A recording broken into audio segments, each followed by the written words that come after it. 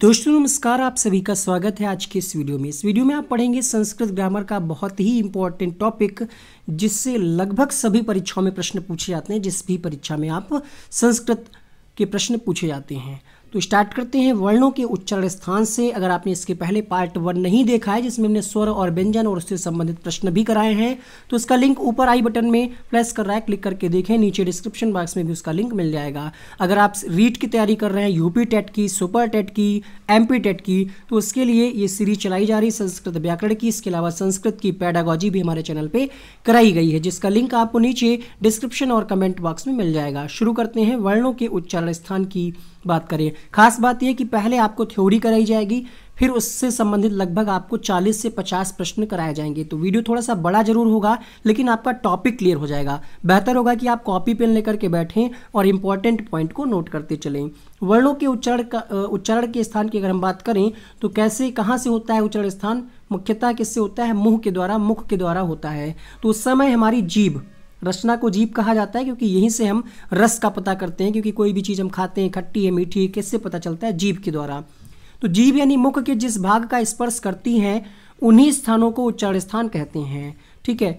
वर्णों के उच्चारण स्थान कितने होते हैं? मुख्य होते हैं आठ। वर्णों के मुख्य उच्चारण स्थान कितने होते हैं? आठ होते हैं। कंठ, तालु, मूर्धा, दंत, ओष्ठ, नासिक, जिव्यामूल और उराह। तो वर्णों का उच्चारण स्थान किस प्रकार से आपको याद करना है, समझना है? सबसे पहले आपको सूत्र याद होने चाहिए ये। ठीक है, जितने भी सूत्र हम आपको बता रहे हैं, उनको नोट करिए और याद करिए। एक बार में याद नहीं होंगे, तीन से चार बार उनको लिखिए, बोलिए प्रैक्टिस करिए, याद हो जाएँगे। ठीक है, जैसे यहाँ पे हम पहले की बात करें, कंठवर्ण। कंठवर्ण का सूत्र आपको याद रखना है अकुह विसर्जनीयानाम कंठ। अगर आप सूत्र ये याद कर लेते हैं तो उच्चारण स्थान से आपका कोई भी प्रश्न गलत नहीं होगा। अब देखिए, सूत्र की व्याख्या हम कर रहे हैं यहाँ पे। क्या लिखा हुआ है? अकुह विसर्जनीय नाम कंठ। तो कंठ क्या यहाँ पे है? इस सूत्र में कंठ क्या है? उच्चारण स्थान है। ठीक है? अर्थात कंठ से उच्चारित तो होने वाले वर्ण को हम क्या कहते हैं? कंठ वर्ण कहते हैं। अब अकुह लिखा है तो अकुह का मतलब क्या हुआ? आ और छोटा आ और बड़ा। आ मतलब छोटा आ और बड़ा। दो हो गए। इसके अलावा कुह लिखा है तो का से आपका क्या हो जाएगा? का वर्ग। का वर्ग में कौन कौन से आते हैं? का, खा, गा, घा। ठीक है? ये लिए जाएँगे। और विसर्ग। क्योंकि यहाँ पे लिखा है ना, विसर्जनीय नाम कंठा। तो अकु विसर्जनीय नाम कंठा मतलब छोटा आ, बड़ा आ, का वर्ग और विसर्ग। और साथ में आपको ये ध्यान रखना है, क्योंकि अकुह में क्या है? हा भी है ना? अकुह में क्या है? हा भी है। तो अगर आपसे प्रश्न पर पूछेगा कि हा का उच्चारण स्थान क्या है तो तुरंत आपके माइंड में सूत्र क्लिक करेगा कि अकुह विसर्जन या नाम कंठ, अर्थात हा का उच्चारण स्थान भी कंठ से ही होगा, और छोटा आ और बड़ा आ और का वर्ग। तो इनका उच्चारण स्थान किससे होगा? कंठ से होगा, और विसर्ग भी आपको इसमें ध्यान रखना है, हमने हाईलाइट कर दिया इसीलिए। दूसरा सूत्र आपको कौन सा याद करना है? इचुई सनाम तालु। हमारे साथ बोलिए बोलिए, इचुई सानायाम तालु। तालु क्या हो गया आपका यहाँ पे? तो तालु हो गया आपका उच्चारण स्थान। अर्थात ऐसे वर्ण जो तालु से उच्चारित होते हैं, उनको हम तालब्य वर्ण कहते हैं। तो शुरुआत में आपने क्या देखा? ई लगा है। वहाँ पे क्या था? आ था तो हमने छोटा और बड़ा दोनों ले लिया था। यहाँ पे ई है। तो हम क्या करेंगे? छोटी ई और बड़ी दोनों ले लेंगे। उसके बाद चा है। चुई लिखा है ना? तो चा चा का मतलब चा वर्ग आ जाएगा। ठीक है? चा का मतलब चा वर्ग। उसके बाद क्या था? ऊपर वाले में हा था, कंठ से। यहाँ पे क्या है? या है। तो या भी हमने ले लिया। ठीक, उसके बाद क्या है? सा तो सा भी हमने ले लिया। तो इतने वर्ण इसके अंतर्गत आएँगे। सूत्र क्या है? इचुई सनायाम तालु। ऊपर क्या था? अकुह विसर्जनीय नाम कंठ। साथ ही साथ बोलिए, तभी आपको याद होगा। आप सोच रहे हैं कि ऐसे लिख ले, याद हो जाएगा। नहीं, बोलना पड़ेगा आपको। मुख से उच्चारित करिए। शुरुआत में कठिनाई होगी, फिर धीरे धीरे आप बोलने लगेंगे। अकुह विसर्जनीय नाम कंठ। छोटा, बड़ा, का वर्ग और हा और विसर्ग, विसर्जनीय नाम कंठा है ना? तो ऊपर वाला आपको याद हो गया होगा। अब तालु तो तालब विवरण इसमें कौन कौन से? इचुई शानायाम, तालु। छोटी ई, बड़ी ई, चुई था तो चा वर्ग हो गया। चुई में या है तो या भी हमने ले लिया। और शानायाम तो सा हमने ले लिया। शाह ये वाला लेना है आपको, ध्यान रखना है। याद हुआ कि नहीं होगा अभी क्वेश्चन कराएँगे। टेस्ट के रूप में क्वेश्चन कराएँगे। आपको गलत नहीं होना चाहिए आपका उत्तर। तीसरा सूत्र हमें क्या याद करना है? ऋतु रसाणाम मूर्धा। तो जो लास्ट में लिखा होता है, वो क्या होता है? उच्चारण स्थान होता है। अर्थात जिन वर्णों का उच्चारण स्थान मूर्धा है, उन्हें हम क्या कहते हैं? मूर्धन्य वर्ण कहते हैं। अब सूत्र में सबसे पहले क्या है? ऋषि। तो ऋषि आपको छोटी बड़ी दोनों लेनी है। यहाँ पे लिखने में बिल्कुल एक जैसे लग रहा है, लेकिन आपको ध्यान रखना है छोटा बड़ा दोनों है, इसलिए दो बार लिखा गया है। इसके बाद ऋषि ऋषि हो गया। इसके बाद क्या है? टुर। टुर का मतलब है टा वर्ग, है ना? टा वर्ग और रा है तो यहाँ पे हम रा ले लेंगे। और शाह था यहाँ पे शाणाराम, है ना? तो सा हमने ये वाला लिया। इस बार कौन सा सा लिया हमने? ये वाला। हमारे साथ बोलिए सूत्र, ऋतु रसाणाम मूर्धा। फिर से बोलिए, ऋतु रसाणाम मूर्धा। री से ऋषि दोनों। टा, टुर है तो टा वर्ग। फिर क्या है? रसा है तो रा और शाह सा से सटकोड़ वाला सा ये आपके आ जाएँगे मूर्धन्य वर्ण के अंतर्गत। क्वेश्चन आपसे पूछेगा कि टा का उच्चारण स्थान क्या है? तो आप तुरंत सूत्र याद करिएगा। ऋतु रसाणाम मूर्धा, ठीक है, अकुह विसर्जनियाम कंठा, ऐसे आपको याद होंगे। चौथा सूत्र क्या कहता है यहाँ पे? दंत। दंता लिखा है, सूत्र क्या है? री, ये क्या है? री। री, बोलिए, साथ में बोलिए, री। तुलसा नाम दंता, री तुलसा नाम दंता, री तुलसा नाम दंता। चार बार बोलिए कम से कम। तो दंता क्या हो गया? ये आपका उच्चारण स्थान हो गया, अर्थात तो जिन वर्णों का उच्चारण दांत से होता है उन्हें हम दंत वर्ण कहते हैं। शुरुआत में क्या था? ली तो यहाँ पे हमने ली ले लिया। फिर क्या है? तुलसा नाम हमने बताया क्या? तुलसा नाम तो ता वर्ग हो गया इसमें। फिर ता वर्ग के बाद क्या है? लसा नाम तो ला हमने ले लिया। फिर क्या है? सा है। सा नाम है ना यहाँ पे? देखिए, ये वाला सा। तो हमने ये वाला सा ले लिया। बस। है आसान ना? तो वीडियो को एक बार लाइक करिए। कमेंट करके बताइए ज़रा, क्योंकि कमेंट से ही मोटिवेशन मिलता है और वीडियो बनाने में हमें मदद मिलती है। आपके कमेंट से, लाइक से कोई पैसा नहीं मिलता। बट अगर आप कमेंट करते हैं तो हमें लगता है कि हाँ हमारी मेहनत आप तक पहुँच रही है और आपको वीडियो पसंद आ रहा है, आपको समझ में आ रही चीज़ें। बहुत सारे लोग कमेंट करते हैं अच्छा लगता है, उनका रिप्लाई भी हम देते हैं। ठीक है? तो दांत वाले, आपको याद हो गए सूत्र? एक बार फिर से सारे सूत्र बोलिए हमारे साथ। अकुह विसर्जनिया नाम कंठा, यानी छोटा आ, बड़ा आ, का वर्ग।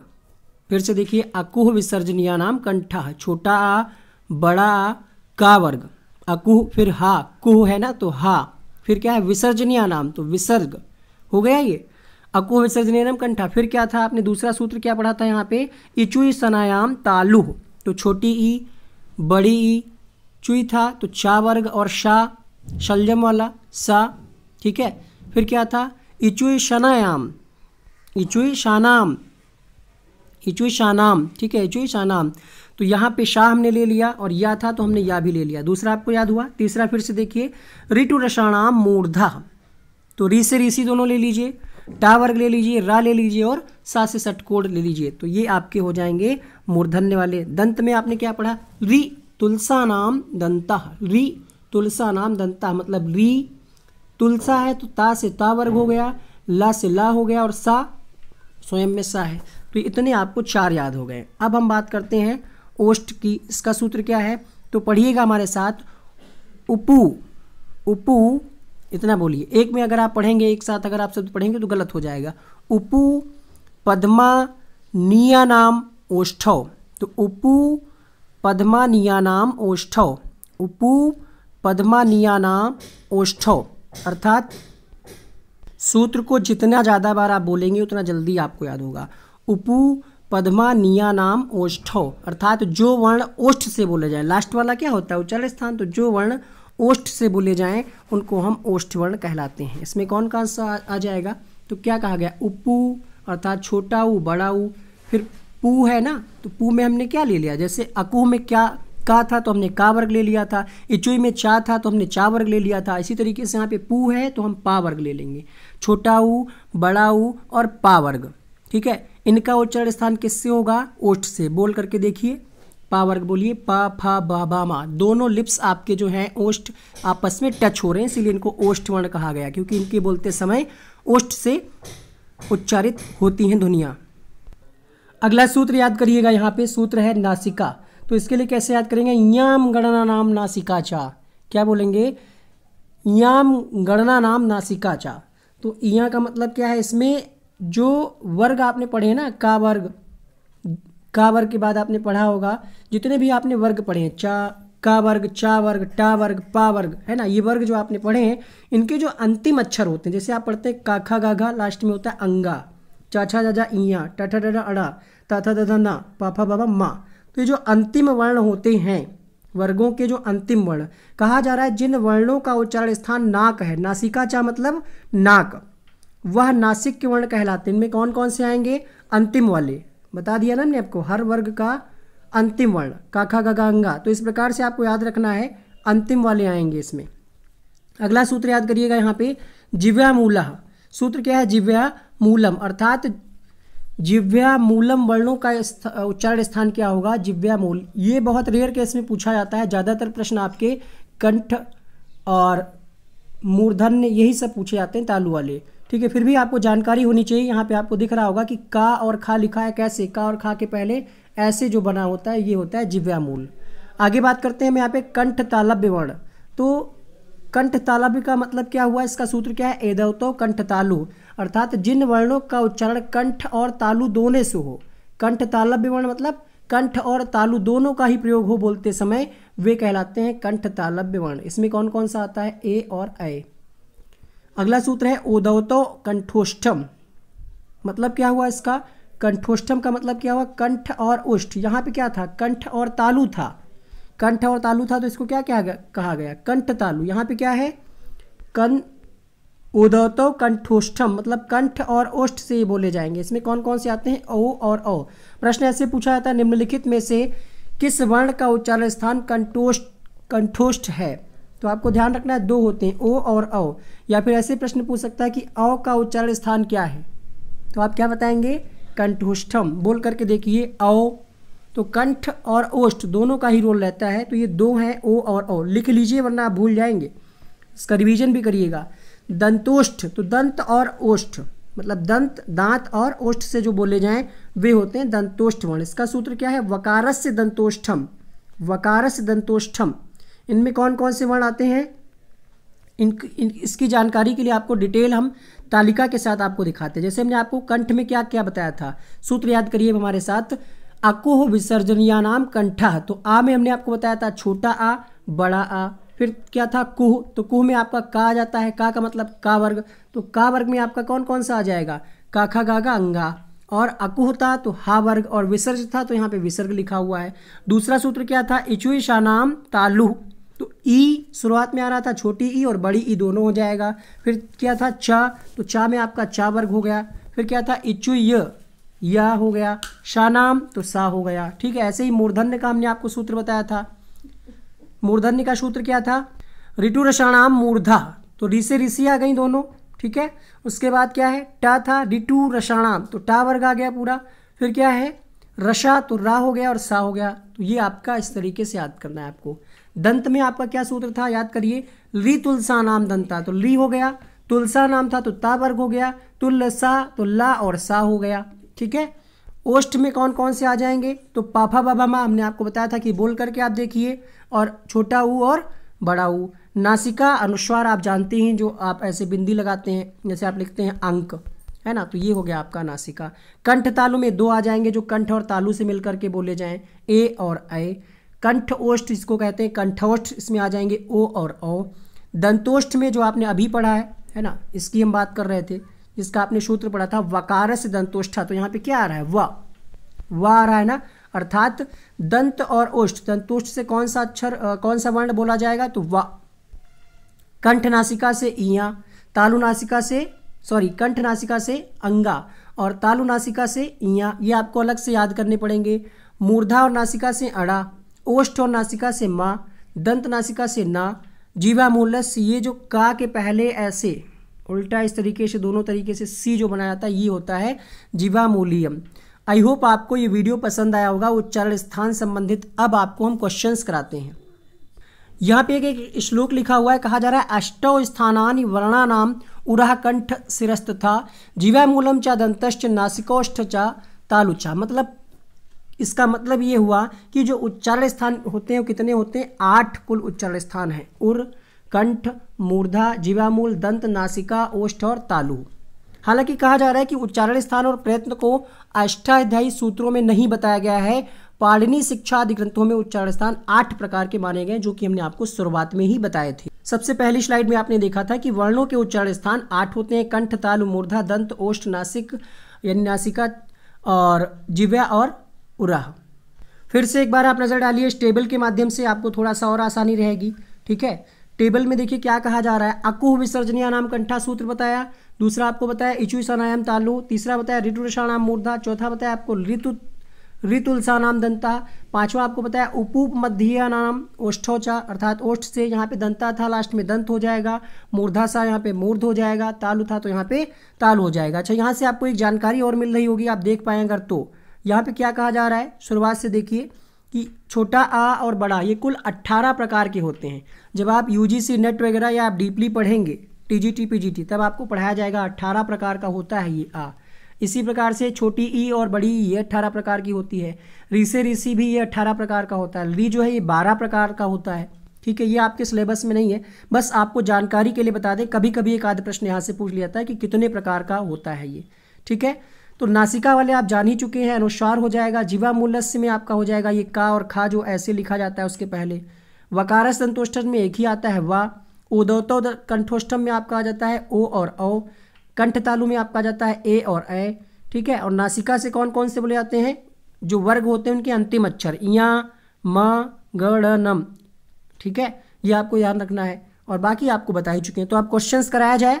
वीडियो को पूरा देखिए। कंप्लीट जानकारी आपको मिलने वाली। बड़ा वीडियो हो रहा है। लाइक आपने किया नहीं है, कर दीजिएगा। कमेंट ज़रूर करिएगा। कमेंट से बहुत मोटिवेशन मिलता है। तो पहला प्रश्न है आपके सामने। मुख के जिस भाग से जिस वर्ण का उच्चारण किया जाता है, वही उस वर्ण का क्या होता है? प्रयत्न स्थान होता है, उच्चारण स्थान होता है, सवर्णी होता है या फिर मुख्य स्थान होता है? पहला प्रश्न आपके सामने। उत्तर जाएगा यहाँ पे ऑप्शन नंबर बी के साथ, उसको हम क्या कहते हैं? उच्चारण स्थान कहते हैं। दूसरा प्रश्न, पाणिनी शिक्षानुसार संस्कृत वर्णमाला में उच्चारण स्थानों की संख्या कितनी है?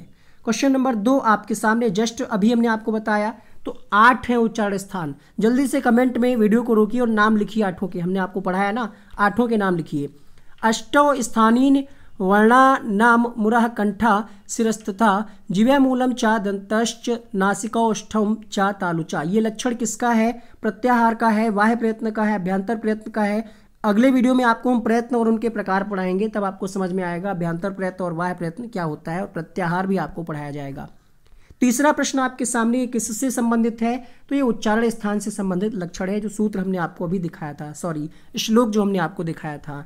तो ये उच्चारण स्थान से संबंधित है, इससे ये पता चलता है अष्टो स्थान यानी वर्ण के उच्चारण के कितने स्थान मतलब कितने होते हैं उच्चारण स्थान? तो आठ होते हैं, जो कि आपने पूर्व प्रश्न में भी पढ़ा है, ऑप्शन नंबर सी आपने लगाया था। तो तीसरे प्रश्न का आंसर जाएगा ऑप्शन नंबर ए के साथ। देखिए, थ्योरी को टाइप करना, क्वेश्चंस को बनाना, टाइप करना, रिकॉर्ड करना, मेहनत तो लगती है। इसीलिए जो क्या है, पेड कोर्स की इसीलिए डिमांड बढ़ती है, क्योंकि फ्री की वैल्यू उतनी नहीं होती है। तो इसलिए आप सपोर्ट करेंगे अगर तो ये कंप्लीट आपका कोर्स कराया जाएगा, संस्कृत का बिल्कुल फ्री में। विसर्ग का उच्चारण स्थान माना जाता है तो सूत्र याद करिए। सूत्र याद करिए, अकुह विसर्जनिया नाम कंठ। कंठ आ जाएगा, विसर्जनिया नाम कंठा। तो यहाँ पे ऑप्शन नंबर बी सही होगा। क्वेश्चन नंबर पाँच, वकार का उच्चारण स्थान क्या है? कंठोष्ठम, दंतोष्ठ, कंठतालु उपयुक्त सभी। क्वेश्चन नंबर पाँच याद करिए, वकार का उच्चारण स्थान क्या है? तो दंतोष्ठ हो जाएगा यहाँ पे ऑप्शन नंबर बी के साथ जाएगा। अगला प्रश्न देखिए।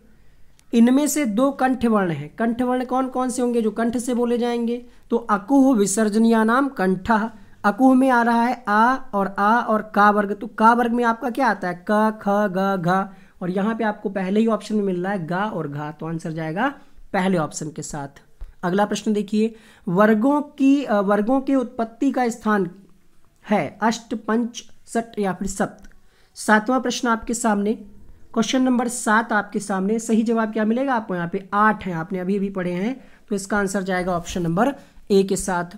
क्वेश्चन नंबर आठ। उच्चारण स्थान की दृष्टि से यह वर्ण कौन सा है? सूत्र सभी याद करिए सीक्वेंस में। अकुह विसर्जनिया नाम कंठा इसके बाद आपने कौन सा पढ़ा था सूत्र? जल्दी से याद करिए। और देखिए किसमें यह आ रहा है। इचुय सनायाम तालु। याद आया? क्वेश्चन नंबर आठ तो आंसर क्या आ जाएगा? तालब्य इचुई ई और ई, चा वर्ग और या था तो यह आ जाता है इसमें। तालु आपने सूत्र पढ़ा था? तालु का मतलब है तालब्य क्वेश्चन नंबर नौ, अनुस्वार का उच्चारण स्थान क्या होगा? अनुस्वार। याद करिए, कौन सा सूत्र आपने पढ़ा था? क्वेश्चन नंबर नौ आंसर जाएगा नासिका।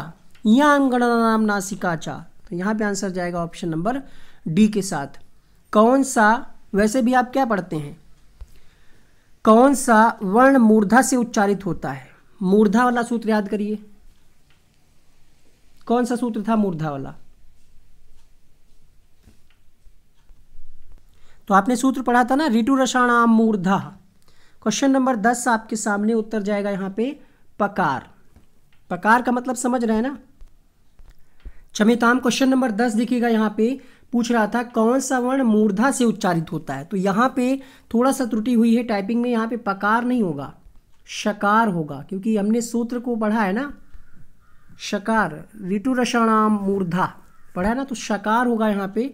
शाह वर्ण का उच्चारण जो है, मूर्धा से होता है, आंसर जाएगा डी के साथ। अगला प्रश्न देखिएगा, ई का उच्चारण स्थान क्या है? तो आपने सूत्र याद करिए इचुय सनाम तालुह। तालुह आ रहा है ना लास्ट में। तो उत्तर जाएगा ऑप्शन नंबर बी के साथ। कितना आसान लग रहा होगा अब आपको? आप ही बताइए। आसान लग रही है ना संस्कृत? क्वेश्चन नंबर बारह देखिएगा। अनुनासिक वर्णों का उच्चारण स्थान क्या होता है? क्वेश्चन नंबर बारह।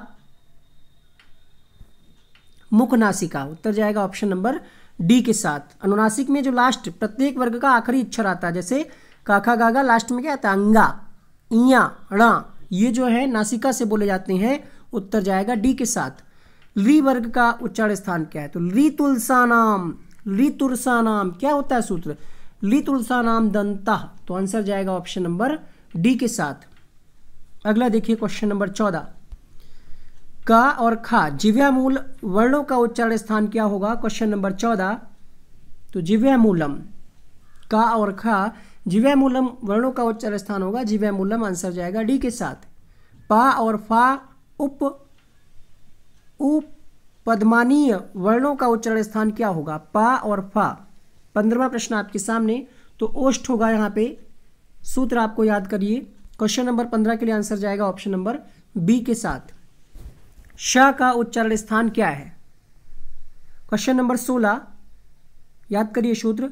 इचुय सानाम तालु तो ई ई और चा वर्ग, ठीक है? और शा, ये तालु से बोले जाते हैं तो यहाँ पे आंसर जाएगा प्रश्न संख्या सत्रह है आपके सामने, यहाँ पे सही कर लीजिएगा, यहाँ पे ला होगा, ठीक है? और प्रश्न आपसे पूछ रहा है कि दंत से उच्चरित होता है। तो आपने सूत्र पढ़ा है ना, याद करिए, री तुलसा नाम दंता। री तुलसा नाम तो री हो जाता है, ये वाला री और ता वर्ग, ठीक है? और ला तो यहाँ पे आंसर आएगा ऑप्शन नंबर सी के साथ, यहाँ पे करेक्शन कर लीजिएगा, ला होगा सत्रह का सी ऑप्शन, भा नहीं होगा। निम्नलिखित में से कौन सी ओष्ट ध्वनि नहीं है? तो प, फ, ब, भ, म, है ना? ये होता है वर्ग, पा वर्ग जो होता है वो ओष्ठ से उच्चारित होता है। तो यहाँ पे 18 का आपका ऑप्शन नंबर चार दिया है। ये ओष्ठ से संबंधित नहीं है। आंसर जाएगा ऑप्शन नंबर ए के साथ। क्वेश्चन नंबर उन्नीस देखिए। ली तुलसा नाम दंता हर रिक्त स्थान की पूर्ति करिए। तो ली तुलसा नाम दंता तो हम बोल ही गए हैं। यहाँ पे आंसर जाएगा ऑप्शन नंबर ए के साथ। क्वेश्चन नंबर बीस देखिएगा। ऋतु रसाणाम सूत्र किसका है? किससे संबंधित है? तो ऋतु रसाणाम बोलिए बोलिए, साथ में बोलिए, मूर्धा तो आंसर जाएगा ऑप्शन नंबर सी के साथ। लाइव जुड़े हैं जितने लोग बहुत बहुत स्वागत है आप सबका। क्वेश्चन नंबर इक्कीस देखिएगा यहाँ पे। कंठोष्ठ वर्ण कौन से होंगे? जो कंठ और ओष्ठ से बोले जाएँ, बोल करके देखिए। तो ये हो जाएँगे आपके ओ और अ बाईसवां प्रश्न देखिएगा, यहाँ पे आपको सुमेलित करना है। कैसे सुमेलित करेंगे? का वर्ग, सूत्र याद करिए, अकुह विसर्जनिया नाम कंठ। तो ये कंठ से हो जाएगा। दूसरा है चा वर्ग। इचुईशनायाम तालुह। तो ये हो जाएगा इससे। फिर क्या है? टा वर्ग है तो ऋतु मूर्धा। तो ये इससे हो जाएगा। अब ता वर्ग बचा यहाँ पे। बताइए किससे मिलाएँगे हम? पा वर्ग तो आप जानते हैं, पाफा बाबा माँ। किससे हो जाएगा? ओष्ठ से हो जाएगा। अब आपके पास बच रहे हैं कौन कौन से? ता वर्ग एक ही बच रहा है। तो एक बच रहा है। एक ऑप्शन देखिए कौन सा छूट रहा है। ठीक है? दंता। ऋतु रशा नाम तो आपने सूत्र पढ़ा ना ऋतुलसा नाम दंता। तो ता वर्ग किसमें हो जाएगा? दंत से, का वर्ग आपका कंठ से, चा वर्ग आपका नाम तालु से, टा वर्ग नाम ये किससे जाएगा? और पा वर्ग आपका ओठ से पता ही है। ठीक है तो आपको सभी पता है, आप आराम से सुमेलित कर ले जाएँगे। यहाँ पे इसके ऑप्शंस दिए हुए हैं। तो क्वेश्चन नंबर आपका था बाईस और इसका आंसर आप लिखेंगे कैसे? हम ही बता देते हैं आपको कमेंट में नहीं लिखना है आपको। पहला ऑप्शन जाएगा। का से पाँच को मिलाया हमने। ठीक है, थोड़ा सा यहाँ पे ऑप्शंस में दिक्कत आ रही है। एक पास हम अगली बार लिख करके इसको आपको फिर से करा देंगे। पंचमाक्षरों में या, अंगा या णामा अपने अपने वर्गों के अतिरिक्त उच्चारण स्थान होता है। कंठ, मूर्धा, दंत, नासिका। क्वेश्चन नंबर तेईस तो आंसर जाएगा यहाँ पे। नासिका के साथ ऑप्शन नंबर डी सही होगा। अयोग वाह अनुस्वार, विसर्ग, जिव्यामूली, उप उपद मानीय वर्गों का क्रमशः उच्चारण स्थान क्या होगा? तो अनुस्वार का उच्चारण स्थान क्या होता है? अनुस्वार का उच्चारण स्थान होता है नासिका। अब नासिका वाले ऑप्शन पकड़िए। नासिका इसमें भी इसमें भी। मतलब दो गलत हो गए। दो गलत हो गए। तो अब देखना है यहाँ पे आपको, अनुस्वार के बाद क्या दिया है? विसर्ग तो आपने पढ़ा है ना? अकुह विसर्जनीय नाम कंठा। यहाँ पे टाइपिंग मिस्टेक है ये। कंठा होगा सब जगह, ठीक है? जहाँ पे काट काट लिखा है, कंठा है। तो इस तरीके से जब आप मैच करेंगे तो यहाँ पे पहला ऑप्शन इसका सही होगा। कंठा लिखा है ये। सुमेलित नहीं है आपसे पूछा जा रहा है। सुमेलित नहीं है। क्वेश्चन नंबर पच्चीस। तो ए और ए ये तो सुमेलित है क्योंकि ए और ए दिया है। ये कंठ ताल दोनों से उच्चारित होते हैं। ये भी सही है। ये भी सही है। वकारोस दंतोष्ठ आपने सूत्र पढ़ा होगा। 25 का जो गलत मिला है, ये है कंठ। क्योंकि जिव्या मूल का उच्चारण कंठ से नहीं होता है। ठीक है? आंसर जाएगा ऑप्शन नंबर डी के साथ। अशुद्ध युग्म कौन सा है यहाँ पे? अशुद्ध बताइए। तो जीवा मूल का जीवा मूल से होता है उच्चारण स्थान जो आपने अभी यहाँ पे पढ़ा है। ठीक है? इसका किससे होता है? ये तो सही है। मिला लीजिए इसको। उप अशुद्ध यहाँ पे पूछ रहा है मतलब ई तक दिए हैं, एक कोई ना कोई यहाँ पे गलत होगा। कौन सा गलत होगा? ये आपको मैच करना तो अकु विसर्जनयाम कंठा आपने पढ़ा है। ये भी सही है। ठीक है? अनुस्वार वाला भी सही है। तो गलत कौन सा है फिर यहाँ पे? क्वेश्चन नंबर छब्बीस में। यहाँ पे दिया अनुनासिक, पंचमा अक्षर मूर्धा, जबकि होता किससे है? नासिक से होता है। नाक मतलब। तो यहाँ पे यही गलत दिया है, अर्थात इस प्रश्न का आंसर जाएगा डी बाकी पाँच चार आपके ये सही दिए हुए हैं। आंसर जाएगा ई के साथ। नासिका से उच्चारित होते हैं अनुनासिक, अनुस्वार, पंचमाक्षर, उपरोक्त सभी। देखिए क्लास करते समय बहुत सावधानी रखते हैं, फिर भी संस्कृत की टाइपिंग इतनी टफ है कि थोड़ा सा मुश्किल हो जाता है क्वेश्चंस को टाइप करना। तो कहीं कहीं अगर त्रुटि होती तो इसके लिए माफ़ी चाहेंगे। अगले वीडियो में हम इम्प्रूव इम्प्रूवमेंट करने का पूरा पूरा प्रयास करेंगे। तो नासिका से सभी उच्चारित होते हैं। अनुनासिक भी, अनुस्वार भी और पंचमाक्षर, जैसे हमने आपको बताया था ना काखा गागा अंगा आ जाता लास्ट में। इया आ जाता है। तो ये सब जो है, नासिका से उच्चारित होते हैं। आंसर जाएगा ऑप्शन नंबर डी के साथ। अंतष्ठ, यानी य, व, र वर्गों का क्रमशः उच्चारण स्थान क्या होगा? कल हमने आपको पढ़ाया था स्वर और व्यंजन। अगर वीडियो नहीं देखा आपने तो उसका लिंक अभी यहाँ पे आपको मिल जाएगा। जैसे ही आपको लास्ट क्वेश्चन दिखेगा, वो वीडियो आ जाएगा, क्लिक करके देख लीजिएगा आप। क्वेश्चन नंबर अट्ठाईस तो या का आप मिलाइए, इचुई सनायाम तालु तालु मतलब पहले ऑप्शन जिसमें तालु है, वही सही होगा, क्योंकि आपने एक पकड़ लिया तो दो ऑप्शन आपके कट गए। अब आपके पास दो ऑप्शन बचे हैं। दूसरा देखिए वाह तो वकारस दंतौष्ठौचा वाह का भी आपने सूत्र पढ़ा है तो यहाँ पे आंसर जाएगा ऑप्शन नंबर सी के साथ। अगला देखिए, ऊष्म व्यंजन। अब आपको यहाँ पे दो चीज़ें और पता चल गई कि अंतष्ट में कौन कौन आते हैं, य व र ल। ऊष्म में कौन कौन से आते हैं, श, स स, ह। ऊष्म व्यंजन का उच्चारण स्थान क्या होगा? यहाँ पे एक जैसा नहीं है अलग अलग उच्चारण स्थान एक ग्रुप तो बन गया है कि शाह सा सा है, इनको हम उष्म कहेंगे। अब ये वाला सा किसमें आ रहा है? इचुशनायम तालु में आ रहा है। ये वाला किसमें आ रहा है? है ना? तो आपको अलग अलग देखना होगा। ये भी किसमें आ रहा है? कुह विसर्जनयाम कंठा। तो कंठ तो पक्का है ये। मतलब ये नहीं होगा, क्योंकि लास्ट में हा है तो ये तो पक्का पता चल गया कि कंठ वाला ही सही होगा। और हमने आपको बताया एचू शनायाम तालु। तो पहले ऑप्शन में क्या होना चाहिए था? तालु होना चाहिए था। अब किस ऑप्शन में पहले में तालु है? लास्ट में कंठ है। तो वो है आपका ऑप्शन नंबर बी देखिए, शुरुआत में तालु है और लास्ट में कंठ है तो आंसर जाएगा बी के साथ। क्वेश्चन नंबर तीस देखिएगा। घ, ध, झ, भ. इन चतुर्थ वर्णों का क्रमशः उच्चारण स्थान क्या होगा? तो का, खा, गा, घ, ठीक है? और यहाँ पे चाचा दादा यहाँ चा वाला नहीं है। त, थ द ध। ठीक है तो यहाँ पे आपको देखना है कि इनका उच्चारण स्थान क्या होगा क्रमशः। क्वेश्चन नंबर है तीस। उत्तर जाएगा यहाँ पे किसके साथ? बताइए। देखिए, ये तो आ गया का वर्ग में। काखा गाघा तो कंठ तो पक्का है पहले ऑप्शन में, इसीलिए उन्हें कंठ सब में दिया है। अब दूसरा देखिए, यहाँ पे धा है। धा किसके अंतर्गत आएगा? बोल करके देखिए।